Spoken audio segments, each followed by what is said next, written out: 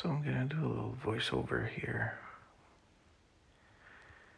That's an over aggressive approach to a shot.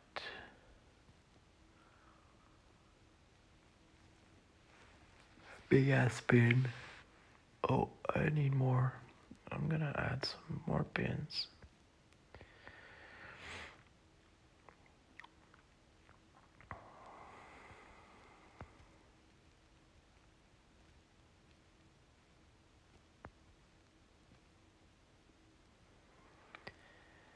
Yeah, so I got that ball pin on.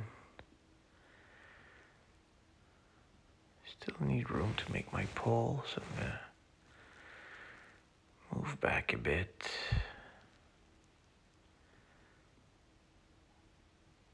I'm guessing about five rings I need to make that pull.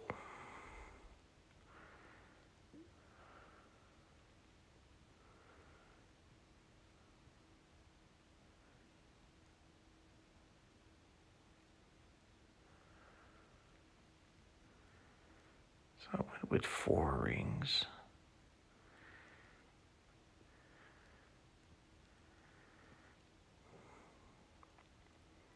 But since I'm gonna need overpower here, I figured just set up for whatever I can and let it rip. And you guessed it, if I'm watching watching this with you guys, it's because well, it went in the cup. So after all,